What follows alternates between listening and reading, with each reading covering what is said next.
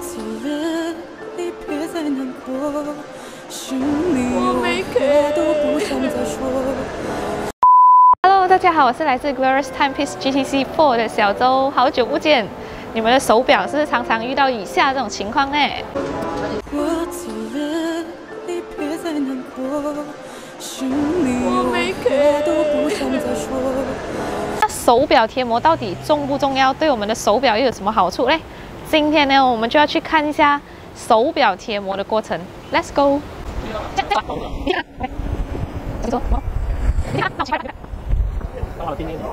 OK。对啊，我现在我来到这个邦萨木 Templa 名表店这边来体验一下贴膜的过程。Let's go。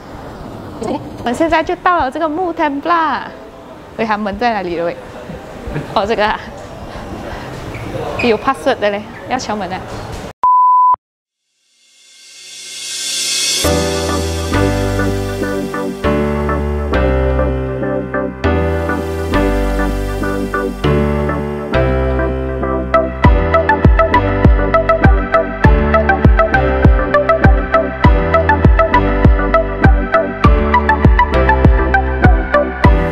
到底这个手表贴膜有多重要？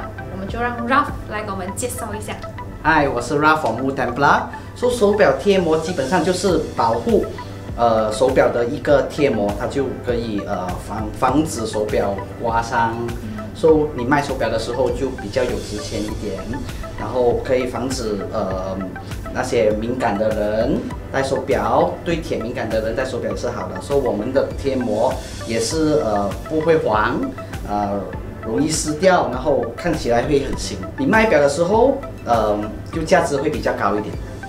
哦，嗯，原来还有这个好处。是的。所以现在我就要把我刚才敲到的手表交给 Ralph 了。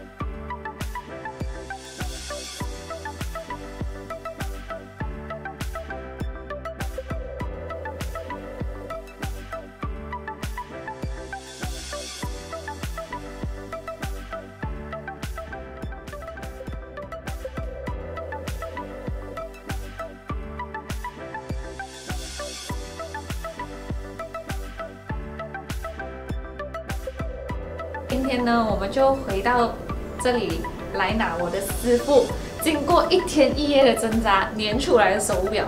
那我拿了过后呢，讲真的，真的就是看起来完全跟没有粘之前是一模一样的，戴起来的那个感觉也是一样，就是那个触感什么的、色泽什么的都没有被影响，就真的基本上是看不出有粘过这样子。但是它就给我一种男人给不了的安全感。也不是说什么啦，就是说你们之后就是有这些比较好的表粘了过后，不是叫你们去敲，但是在日常生活中就是不小心抠不到什么的，就没有那么心痛哦。所以我们要谢谢 Ralph，然后有谁呢是有兴趣粘这手表贴膜的话呢，就是可以留意以下的那个留言板那边会有更多的相关资料。拜拜。说到底这个手表贴膜有多重要，我们就交给 Ralph 来帮我们讲解，呃不是讲解解释，sorry sorry。